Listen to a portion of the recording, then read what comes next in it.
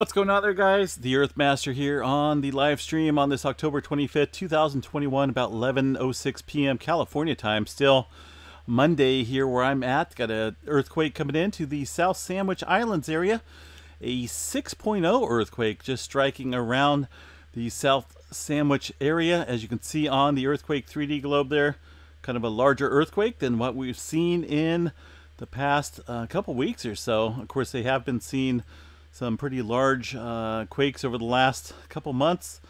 But uh, this six pointer striking to the east by about, uh, looks like about 100 miles or so, just to the east of the South Sandwich Trench, right around the South Atlantic Ocean, 10 kilometers below surface for this earthquake.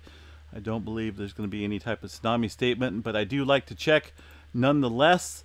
And right now there is nothing from the tsunami.gov website. Once again, a 6.0 earthquake east of the South Sandwich Islands. Let's go ahead and check out the all or the uh, magnitudes over the last 30 days and give you guys a, a good indication of, what we've seen down there.